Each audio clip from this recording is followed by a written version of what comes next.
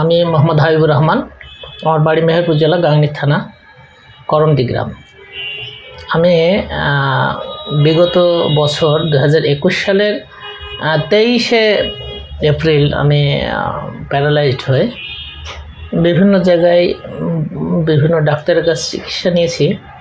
কিন্তু ডাক্তাররা যে অবস্থান আমার দেখেছিল, আসলে বাঁচার কোনো পরিস্থিতি আমার ছিল না। আল্লাহ হয়তো আমাকে হেফাজত করছে। আর আমি ডিপিআরসি হসপিটালে যখন ভর্তি হই, তখন তো শুধু কথা বলা ছাড়া আর- শরীরের কোনো অঙ্গ প্রত্যঙ্গের কোনো কাজ আমি করতে পারতাম না। তো দীর্ঘ তিন মাস, সাড়ে তিন মাস চিকিৎসার পরে আমি অন্তত বাড়ি যাওয়ার মতো উপযুক্ত করে আমাকে হাসপাতাল তৈরি করে দেয়। আমি বাড়ি যাওয়ার পরে আমি নিয়মিত ব্যায়াম করি এবং ওষুধ চালিয়ে যাই। ফলশ্রুতিতে আমি এখন অনেক ভালো মানে প্রতিনিয়তই আমি ইমপ্রুভের দিকেই আছি।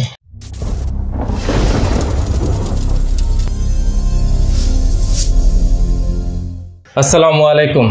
দর্শক, দূর এবং কাছের যারা এই মুহূর্তে আমাদেরকে বসে দেখছেন, আশা করি সবাই সুস্থ আছেন এবং ভালো আছেন। দর্শক, ডক্টর মোহাম্মদ শফিউল্লাহ প্রধান। এই নামটা এখন অনেকেরই জানা এবং অনেক মানুষের কাছে এই মুহূর্তে এটি স্বপ্নের মতো। অসংখ্য মানুষ, অসংখ্য অসংখ্য মানুষ যারা দীর্ঘদিন যাবৎ ব্যথাজনিত সমস্যায় বা প্যারালাইজজনিত সমস্যায় ভুগেছেন, ওনার হাত ধরেই চিকিৎসা নিয়েছেন, সুস্থ হয়েছেন, স্বাভাবিক জীবনে ফিরে গেছেন, স্বাভাবিকভাবে আছেন। এরকম অসংখ্য মানুষের দোয়া এবং ওনার দীর্ঘদিনের, ওনার যে অভিজ্ঞতা, সেই অভিজ্ঞতাকে কাজে লাগিয়ে উনি একের পর এক আল্লাহর রহমতে এবং আল্লাহর ইচ্ছাতেই উনি চেষ্টা করে যাচ্ছেন, রোগীরা সুস্থ হচ্ছেন, স্বাভাবিক জীবনে ফিরে যাচ্ছেন। আমরা সর্বসময় ওনার জন্য দোয়া করি যাতে উনি জীবনের শেষ দিন পর্যন্ত এইভাবে রোগীদেরকে উনি সেবা দিয়ে যেতে পারেন। আমরা শুধুমাত্র ডক্টর মোহাম্মদ শফিউল্লাহ প্রধান, ওনার কথা বলব না। উনি ছাড়াও ঠিক আরও বেশ কয়েকজন ভালো ভালো কনসালটেন্ট আছেন যারা এইভাবে নিরলসভাবে দিনরাত চেষ্টা করে ওনারা রোগীদের সেবা দিয়ে যাচ্ছেন, সুস্থ করার চেষ্টা করছেন। দর্শক, আজকে আমার সাথে যিনি উপস্থিত আছেন সেটে, অনেকেই যারা দীর্ঘদিন যাবত আমাদের ফলোয়ার এবং আমাদেরকে ভালোবাসেন ডিপিআরসি হসপিটালকে ভালোবাসেন এবং সর্বোপরি আমাদের পেজের সাথে সংশ্লিষ্ট, তারা সবাই এই ভাইকে চেনেন। বেশ অনেক দিন আগে উনি আমাদের কাছে একটি সাক্ষাৎকার দিয়ে গিয়েছিলেন এবং ওনার পরিচয়টা আসলে নতুন করে বলার কিছু নেই। তারপরও একটু যারা নতুন তাদের জন্য একটু বলে দিচ্ছি। উনি একজন জেবিএস পেশেন্ট ছিলেন। একদম সম্পূর্ণ সুস্থ, স্বাভাবিক মানুষ। ধীরে ধীরে ধীরে ধীরে যে একেবারে মৃত্যুর কাছাকাছি চলে যায়, সম্পূর্ণ বিছানায় শয্যাশায়ী হয়ে যায়, তার প্রকৃষ্ট উদাহরণ আমাদের এই ভাই। একদম কোনো কিছুই নাড়তে পারতেন না, একটা হাতও নাড়তে পারতেন না, এমন একটা খারাপ অবস্থায় চলে গিয়েছিল। কারও সাহায্য ছাড়া জীবন কল্পনা করা অসম্ভব হয়ে গিয়েছিল। যেখানে ওনার আশপাশের মানুষরা পর্যন্ত বলা শুরু করেছিল যে, এই লোক আর কখনো বাঁচবেন না। ডক্টররা পর্যন্ত বলে দিয়েছিলেন। বাট সেই অবস্থা থেকে আমাদের এই ভাই আজকে সম্পূর্ণ সুস্থ আছেন, ভালো আছেন এবং আপনাদের সামনে আজকে উনি এসেছেন, যেটা অনেকেরই প্রশ্ন থাকে যে আফটার ট্রিটমেন্ট ট্রিটমেন্ট নিয়ে চলে যাওয়ার অবস্থায় যখন স্বাভাবিক জীবনে ফিরে যায় তখন তারা আসলে কেমন থাকেন বা কী ধরনের তাদের কমপ্লিকেশনগুলো হয় সেই বিষয়গুলো আজকে আমরা আপনার সামনে তুলে ধরব এবং উনিও এসেছেন মূলত সেই বিষয়টাই আজকে একটু জানানোর জন্য। আজকে উনি কোনো ট্রিটমেন্ট বা কোনো কিছু নেওয়ার জন্য আসেননি। উনি আজকে এসেছেন উনি আসলে কেমন আছেন সেই বিষয়টা আপনাদেরকে জানানোর জন্য। দর্শক আসেন একটু ওনার সাথে আমরা একটু কথা বলি। আসসালামু আলাইকুম। ওয়ালাইকুম আসসালাম। স্যার যারা আপনাকে আগে চেনেন না বা আপনার ভিডিওটা দেখেনি, তাদের উদ্দেশ্যে যদি আপনার পরিচয়টা আরেকবার একটু বলেন। আমি মোহাম্মদ হাবিবুর রহমান, আমার বাড়ি মেহেরপুর জেলা গাংনী থানা করমদি গ্রাম। আমি বিগত বছর দু একুশ সালের তেইশে এপ্রিল আমি প্যারালাইজড হয়ে বিভিন্ন জায়গায় বিভিন্ন ডাক্তারের কাছে চিকিৎসা নিয়েছি। কিন্তু ডাক্তাররা যে অবস্থান আমার দেখেছিল আসলে বাঁচার কোনো পরিস্থিতি আমার ছিল না। আল্লাহ হয়তো আমাকে হেফাজত করছে। আর আমি ডিপিআরসি হসপিটালে যখন ভর্তি হই, তখন তো শুধু কথা বলা ছাড়া আর- শরীরের কোনো অঙ্গ প্রত্যঙ্গের কোনো কাজ আমি করতে পারতাম না। তো দীর্ঘ তিন মাস, সাড়ে তিন মাস চিকিৎসার পরে আমি অন্তত বাড়ি যাওয়ার মতো উপযুক্ত করে আমাকে হাসপাতাল তৈরি করে দেয়। আমি বাড়ি যাওয়ার পরে আমি নিয়মিত ব্যায়াম করি এবং ওষুধ চালিয়ে যাই। ফলশ্রুতিতে আমি এখন অনেক ভালো মানে প্রতিনিয়তই আমি ইমপ্রুভের দিকেই আছি। মানে যত ডে বাই ডে যাচ্ছে আপনি দেখছেন আপনি ধীরে ধীরে আপনি ইমপ্রুভমেন্টের দিকে যাচ্ছেন। এবং আমি এখন স্বাভাবিক কাজগুলো করতে পারি। আচ্ছা এখন কি সেই পুরোনো দিনগুলোর কথা কি মনে হয় বা মনে মনে হয় আমার পুরো সেই দিনগুলোর কথা মনে পড়লে নিজের কাছে হঠাৎ করে আতঙ্কিত হয়ে যায় যে কষ্ট এবং দুর্বিষহ জীবন। মানুষ যখন অসহায়ত্ব অবস্থায় চলে যায় অপ্রিয়জনরাও তাকে তুচ্ছ তাচ্ছিল্য করে তাকে ছেড়ে চলে যায়। আমারও ব্যতিক্রম হয়নি তার থেকে। আবার অনেকেই আমার পাশে দাঁড়িয়েছে। দাঁড়ায়নি তা না। সবসময় দুইটা ক্যাটাগরি হ্যাঁ, থাকে একদম একটা পক্ষে একদম বিপক্ষে থাকে সবসময়। অনেকে আমাকে আমি বাঁচবো না বলে আমাকে তাচ্ছিল্য করছে বা হিউমিলেট করেছে। তারপরও আমি চিকিৎসা তো থামাইনি। আমি আমার গতিতে আমি চিকিৎসা চালিয়ে গেছি। মনে একটা বিশ্বাস ছিল। মনে আত্মবিশ্বাস ছিল আমি সুস্থ হব। এবং আল্লাহ সেই আত্মবিশ্বাসের জায়গা থেকে আমাকে এই আজ সুস্থতার পথেই নিয়ে এসছে। হয়তো এক দুই পার্সেন্ট হয়তো বাদ আছে সুস্থ হতে এরকম। প্রথম যখন সুস্থ হওয়া শুরু করলেন আমরা দেখলাম যে প্রথমে আপনি একটু উঠে বসলেন প্রথমে।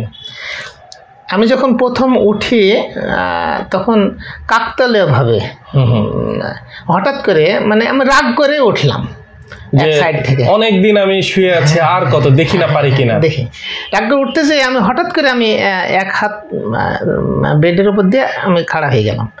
তখন আমি কিন্তু নিজেকে খুব আনন্দিত বোধ করছিলাম বিশ্বাস হচ্ছিল না। বিশ্বাস করুন আমি যে উঠছি। পরে আস্তে আস্তে এটার পরে আস্তে আস্তে আমাকে ইমপ্রুভ হতে লাগল। তারপরে হুমায়ুন ভাই যিনি আমাকে থেরাপিস্ট আমার থেরাপিস্ট ছিলেন। সিঁড়িতে যখন আমাকে ওঠায় তিনজন আমাকে ধরে ওঠাইলো। আসলে উনি যে ঘাম মাথার ঘাম কীভাবে পায়ে ফেলেছে আমি চোখে দেখছি। আর সেই মানে দৃষ্টি দিনগুলো আসলে সেই অবস্থাগুলো বলার মতো না। আসলে সিচুয়েশন মানুষকে এভাবে তৈরি করে তো বলার মতো না। মানে বর্ণনা করার মতো না আর কি। সেটাই। সো ধীরে ধীরে দেখলেন একটা সময় ইম্প্রুভ করছেন, উঠে দাঁড়াচ্ছেন, হাঁটতেছেন এবং একটা সময় রিলিজ নিয়ে বাড়ি চড়ে গেলেন। এবং ওখানে গিয়ে আপনি কিছু নিজস্ব ব্যায়াম আছে? স্যার যে ধরনের ব্যায়ামগুলো দেখিয়ে দিয়েছেন যে হ্যাঁ আমি সেগুলো সেগুলো করছি। নিয়মিত প্লাস আমি নিজস্ব ইয়ের থেকে আমাকে যেভাবে যে ব্যায়ামটা দেখিয়ে দিয়েছে তার অতিরিক্ত মানে কিছু আমি করছি। করছি বলতে যেমন আমি তো ওই একা দাড়ি থাকব আমাকে ধরে দাড়ি রাখতে হবে একজন হাত ধরে। সেটা থেকে আমি বাঁশ আমি বাঁশ কাটলাম। বাঁশ কেটে আমি খুঁটি তৈরি করলাম সেখান থেকে দা- উঠবাস করার মতো জায়গা তৈরি করলাম। জাস্ট একটা সেই পরিবেশটা ব্যায়াম করার মতো আমার মতো। এবং সেই ব্যায়ামগুলো আপনি করেছেন।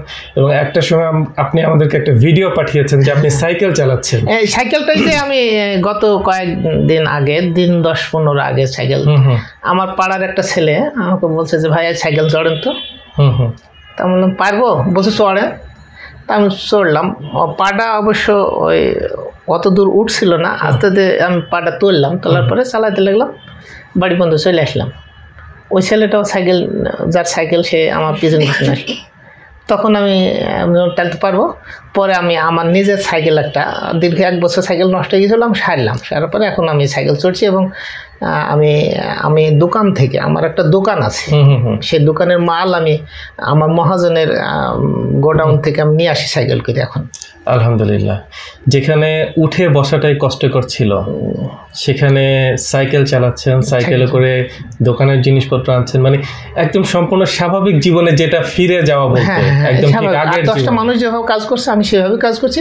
তবে একটা জায়গা ডাক্তাররা আমাকে বলছে আর কয়েকদিন যাক। সাঁতার কাটা পুকুরে সাঁতার কাটা। যেহেতু পানি ঠান্ডা ঠান্ডায় একটু ব্যথাটা হয় সমস্যা হয়। আমি আর হয়তো এক আধ মাস পরে আত্মবিশ্বাস আছে যে আপনি সেটাও করবেন ইনশাল্লাহ।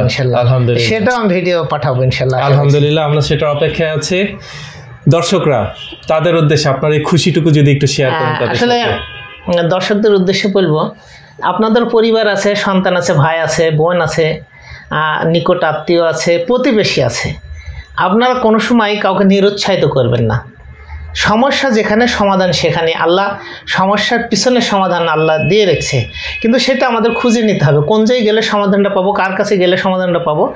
এটা আমাদেরকে খুঁজে বের করতে হবে। আমি পারছি না আরেকজনের সহায়তা পারব বুদ্ধি নেওয়ার জন্যে যে, ভাই, এটা কীভাবে করব? হয়তো সে একটা পথ বাতলি দেবে। তার মাধ্যম দিয়ে আরেক জায়গায় গেলাম। এইভাবেই মানুষ এগিয়ে যায়। সবাই নিজেই তো সর্বসর্ব না কারোর না কারও সহযোগিতা নিতে হয়। এইভাবে সহজে নিয়ে আগে যাবেন আর যে অসুস্থ হবে আপনার পরিবারের কেউ তাকে আপনারা ফেলে দেবেন না। সেই আপনার একদিন মুখ উজ্জ্বল করবে আমি মনে করি। অবশ্যই। ভালো হবে সুস্থ হবে আবার স্বাভাবিক জীবনে ফিরবে। এটা আমি সবার কাছে প্রত্যাশা করি যে আমার যে দুর্বিষহ জীবন আর কারও জীবনে যেতে না আসে এটা আমি প্রার্থনা করি আল্লাহর কাছে। আলহামদুলিল্লাহ। দর্শক শুনলেন আজকে আর বেশি কথা বাড়াবো না।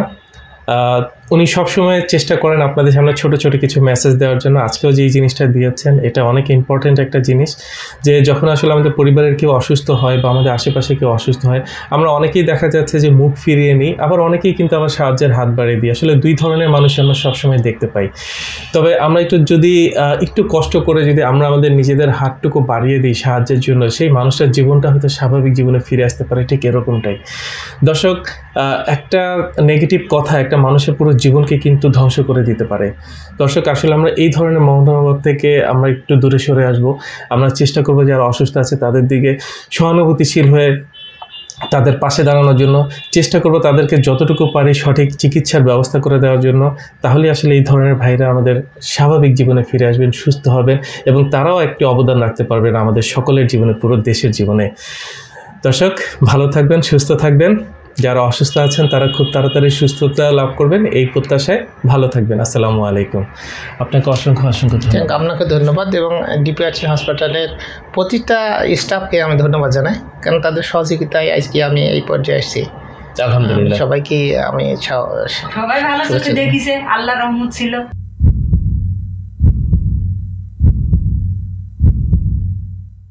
দীর্ঘজীবী হওয়ার প্রথম পদক্ষেপই হচ্ছে সুস্বাস্থ্য নিশ্চিত করা।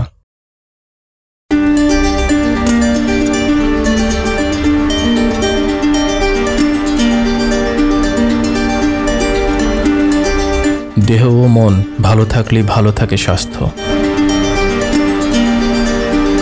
আমাদের রয়েছে আধুনিক যন্ত্রপাতি।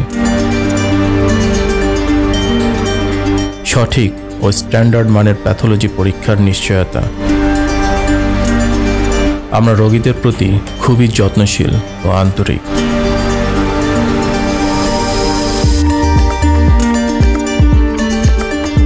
আমরা সর্বপ্রথম প্রতিটি রোগীর সঠিক রোগ নির্ণয় করি, এরপর রোগ অনুযায়ী অপারেশনবিহীন চিকিৎসা দিয়ে থাকি। আমাদের প্রতিটি ডক্টর, নার্স ও থেরাপিস্ট প্রশিক্ষণপ্রাপ্ত ও দক্ষ। আমরা প্যারালাইসিস রোগীদের নতুন করে চলতে শিখাই।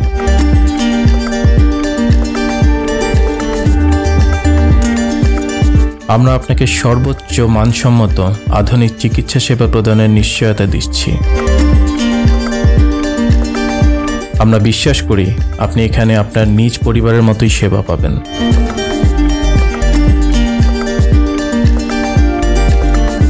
বাত ব্যথা প্যারালাইসিস ও আর্থ্রাইটিসের একটি নির্ভরযোগ্য প্রতিষ্ঠান। আমরা চাই না আপনারা বারবার আমাদের কাছে ফিরে আসুন। তবুও আমরা আছি সবসময় সর্বদা আপনাদের পাশে TPRC hospital and diagnostic lab limited. আস্থা বিশ্বাস ও নির্ভরতায় অবিচল।